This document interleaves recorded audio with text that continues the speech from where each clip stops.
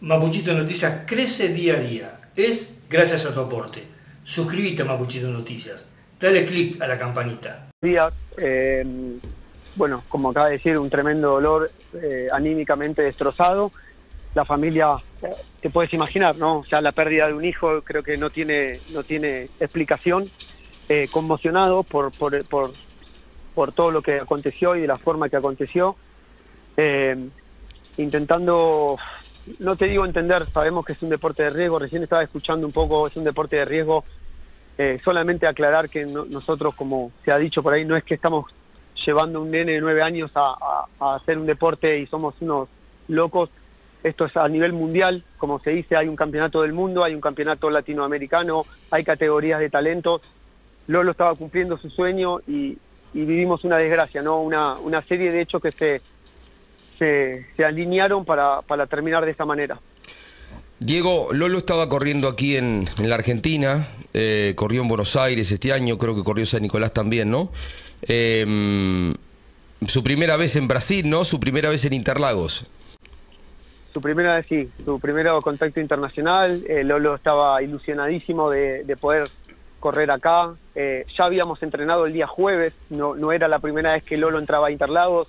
Nosotros viajamos un día antes para que él pueda probar una moto, la pista, para que eh, su contacto después con, con, este campeonato de talentos no sea, sea menos riesgoso todavía, ¿no? O sea, ya tener contacto desde el día jueves con la pista, él giró conmigo, yo giré con él adentro de la pista para mostrarle las líneas, para ir llevándolo de menos a más, o sea, siempre teniendo todos los recaudos necesarios para que el paso a paso eh, se haga como se tiene que hacer, no más allá no de la indumentaria, eh, de las condiciones de la moto, de los neumáticos y todo eso que, obviamente estaba en perfectas condiciones.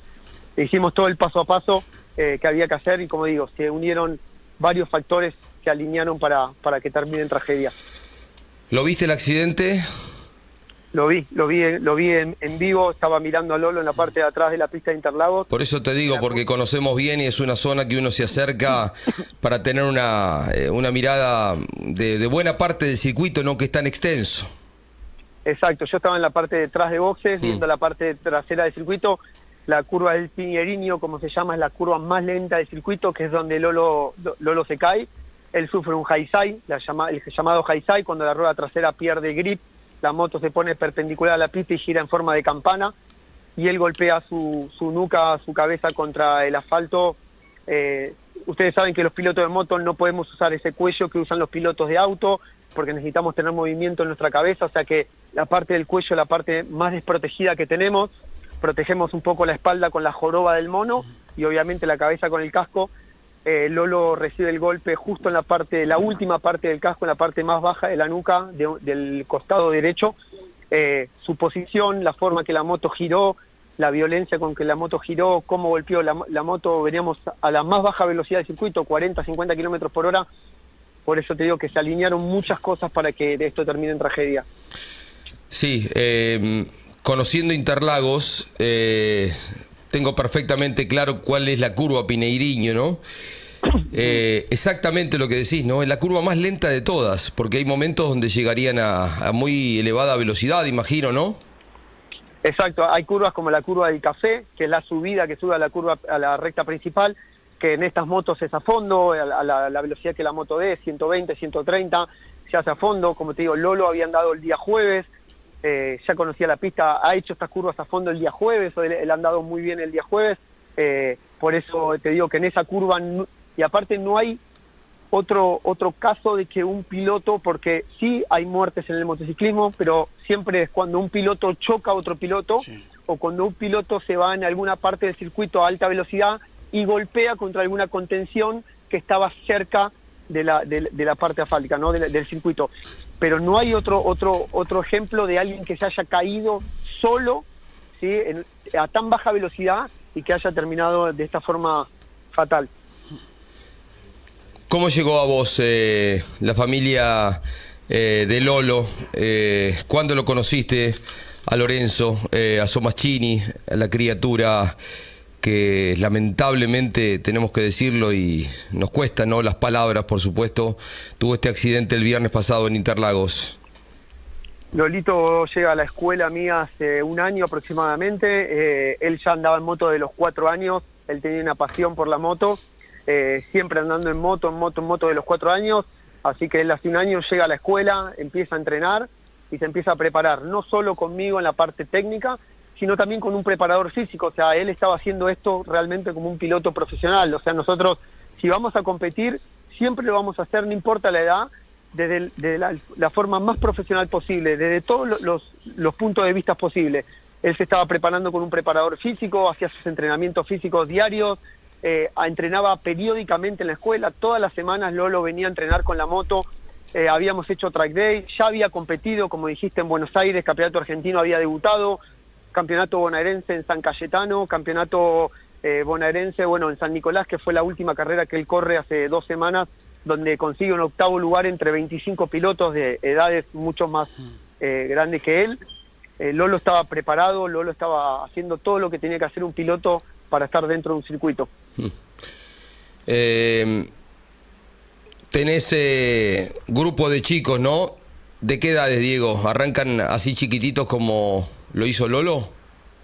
Sí, sí, tengo a Felipe que tiene nueve años también, y, ya compitiendo lo tengo a, Salvador Cassini y Valentino Milone que tienen 12 y 13 años, que ya están compitiendo también a nivel internacional. Ellos compiten el argentino, el bonaerense y el campeonato R15 de Yamaha, que es otro campeonato, no, no este que estamos participando, sino hay dos campeonatos en Brasil muy grandes, Superbike Series y Moto 1000 GP. Son dos campeonatos muy grandes con dos marcas que patrocinan los campeonatos. Uno es Honda, el otro de Yamaha, los otros chicos están en una categoría tal de Yamaha que ya han corrido dos carreras, ya hemos hecho dos fechas y en dos semanas la fecha era acá, por eso el día jueves yo viajé con Lolo, con Salvador y con Valentino a entrenar a Interlagos para conocer la pista, los chicos se volvieron a Buenos Aires esperando su campeonato y Lolo se quedó para debutar en la Junior Cup de este campeonato.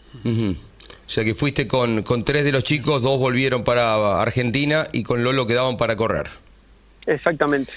Em, Diego, imagino la repercusión mundial de esta tristísima noticia, de este golpazo enorme. ¿Con tu experiencia pensás que hay que replantear un poco el tema de edad o no? Eh, es, difícil de decir. Sí, yo, yo comencé a correr a los 10 años, a los 17 ya era cinco veces campeón argentino. Eh, eh, esto es una pasión, ¿no? Yo, yo creo que las medidas los protocolos siempre han mejorado, hoy con los chalecos de airbag, con los pilotos, las medidas de seguridad, los neumáticos, las motos.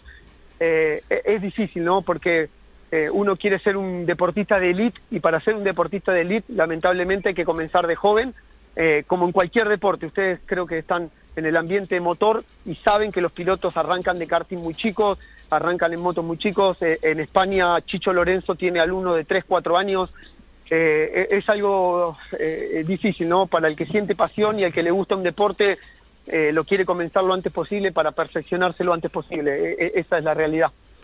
Marc Márquez arrancó, por dar un ejemplo, a los... Cinco años. Y es lo que es, ¿no? Y, es lo que es, el ocho veces campeón del mundo, Valentino Rossi, Andrea Iannone, todos con foto, con mini moto, compitiendo eh, como te digo, hoy está el campeonato del mundo de mini GP, que termina este año en Barcelona su campeonato, su primer campeonato, con chicos de entre 8 y 12 años.